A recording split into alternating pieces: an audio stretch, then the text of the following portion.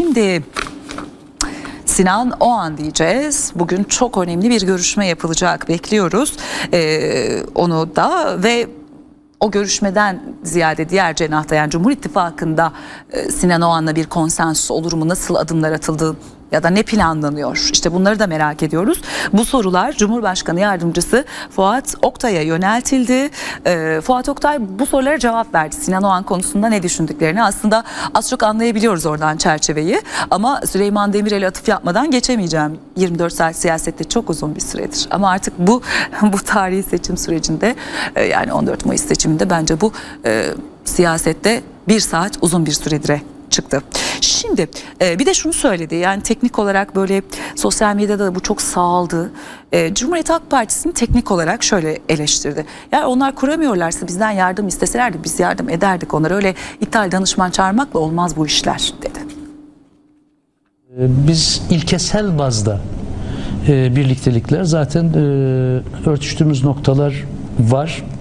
Tabanla da örtüştüğümüz noktalar var. Biz herkesten şu anda oy istiyoruz zaten değil mi? Yani 86 milyondan biz oy istiyoruz ve ilkelerimizi açıklıyoruz.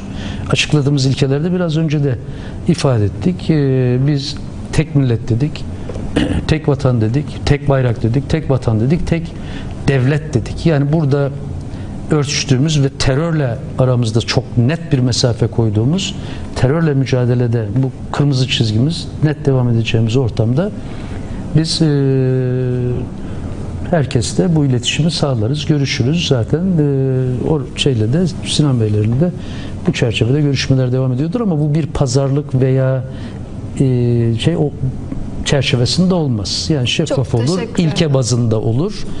E, dolayısıyla biz kendi mesajımızı e, duyurabileceğimizi düşünüyoruz. Yani AK Parti Genel Merkezi'nde bu e, çok güçlü bir e, veri akış sistemimiz vardı. Tüm aynı şekilde ama bu veri güvenliğinin de sağlanmış olduğu bir yapıydı. Devletin sistemini neyle kuruyorsunuz? İşte liyakatlı insanlarla kuruyorsunuz. E bu liyakatlı insanlar Türkiye'de. E bu liyakatlı insanlar orada da farklı şekilde de gençler bunlar. Bu gençlere fırsat verdiğinizde kendi gençlerinize onlar size bu sistemi kurarlar. CHP kuramıyorsa bize söylese biz kurardık. Bugün de kurarız. Dolayısıyla kendi gencine kendi gencine güvenmediğin zaman, kendi kaynağına güvenmediğin zaman gidip Amerika'sından, ne bileyim ben İngiltere'sinden, Almanya'sından, Fransa'sından ithal danışman toplamaya çalıştığın zaman böyle olur işte.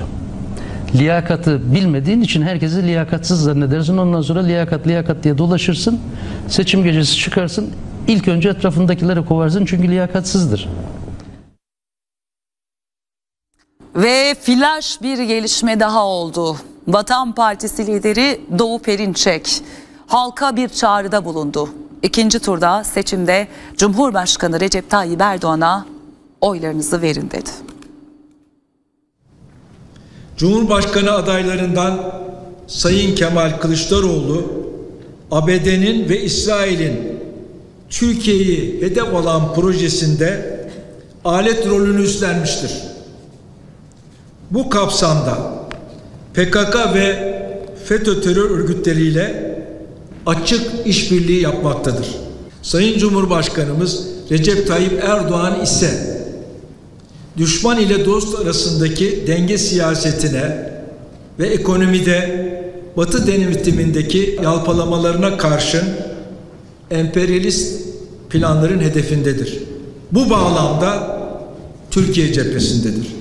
İki seçenekli seçim koşulunda halkımızı Sayın Recep Tayyip Erdoğan'a oy vermeye çağırıyoruz.